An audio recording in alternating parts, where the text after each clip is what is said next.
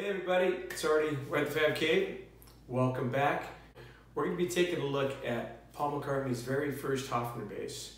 It's just like this one back here. Uh, it's called a cavern bass nowadays, uh, but as our friend uh, from Germany, Nick, Nick Wass, he's back again for some great history, some stuff I never even knew about, about Paul McCartney's very first Hofner bass.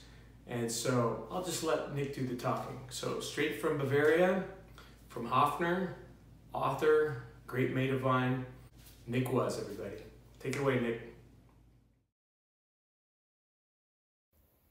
Hi, it's Nick, the guy from Hofner again. I'm helping Ardy today with uh, a little video about Paul McCartney and where he got his first Hofner bass from. He got a bass like this. These days they call it the cavern bass. Um, but he didn't get that name till the 1990s. Back in the day when he bought it in 1961, it was just called Hofner 501 bass. So let's tell you the story about that. The big problem is that Paul gave an interview back in the 1990s when he said he went to a little music shop locally and saw a bass. But something significant he said there was that he saw a bass that was symmetrical and because it was symmetrical he thought being a left-hander he could play it upside down. So he clearly saw a right-handed bass in the shop. The shop he actually went to wasn't a little local music shop, it was a big music store in Hamburg called Steinway. You might have heard of the name Steinway, they're famous for making grand pianos and they still exist today, though the shop's long gone. So, Paul goes to Steinway's, which is at Colonnade in Hamburg. It's not very far from the Reeperbahn, St. Pauli, where they were playing. He sees this bass, it's right-handed, but the salesman advises him that Hofner can easily make him a left-handed bass if he's prepared to wait.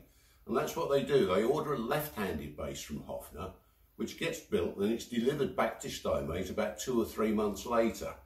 So he must have gone in there in the April when the Beatles arrived in Hamburg again and he'll have picked it up June, July, something like that in 1961.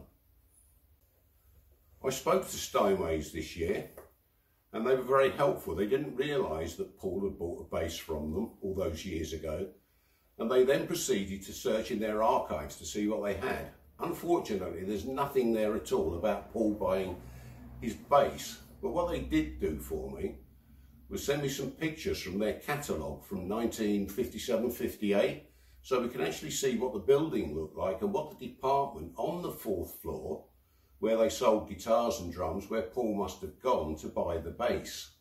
There's also a couple of nice pictures of the window at Steinway's. Unfortunately, no Hofner basses in the window, but it was clearly Christmas. So the pictures are quite interesting to show what type of music shop it was back in the 50s. There are some pictures, a very few, taken of the Beatles in the top 10 club with Paul with the new bass and Stu Sutcliffe with his 505 Hofner bass.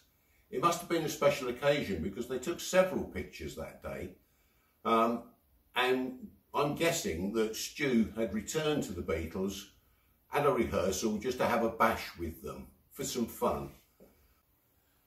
Why did Paul choose a Hofner? Well, let's have a think. John Lennon's first electric guitar was a Hofner Club 40. George had had two Hofners, a President, also a Club 40. Stuart was playing a Hofner 505 bass, a Hofner. It was a brand they were familiar with. They'd have seen many Hofners in England when they played there. It was the right price, they weren't too expensive. So I think the choice was easy for Paul. They knew Hofners, it was a brand they knew, he chose one of those. So thanks for watching. That's the short story about Paul and how he got his first Hofner, the so-called cavern bass, and hope you enjoyed it. Okay, come on. Was that cool?